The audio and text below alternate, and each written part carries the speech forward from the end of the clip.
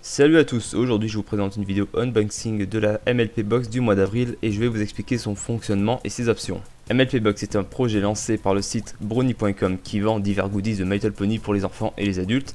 Cela fonctionne comme les loot crates, chaque mois vous recevez chez vous un colis contenant plusieurs goodies comme des t-shirts, des livres, des gadgets et bien plus. Il existe deux versions de la MLP Box, une pour les enfants avec des goodies destinés à leur âge et une version adulte qui contient des objets destinés aux brownies, en particulier aux collectionneurs. Le coût de la boîte est de 9,99$ et la livraison à l'international coûte environ 7$, ce qui fait à peu près un abonnement d'environ 15 euros, voire 16 par mois.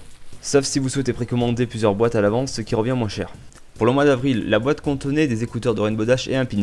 Certaines personnes les utiliseront, mais étant donné que moi je collectionne ce genre d'objets, je vais les laisser dans une vitrine dans leur état. Et c'est aussi un point positif pour ceux qui collectionnent, car comme vous le voyez dans cette vidéo, les objets sont en très bon état, ce qui est vraiment un point positif pour ceux qui veulent collectionner comme moi. Au moment où j'ai fait l'unboxing, je n'étais pas seul chez moi, donc je n'ai pas fait d'unbox euh, direct en filmant. Donc du coup, je suis en train de faire la commentaire par-dessus la vidéo.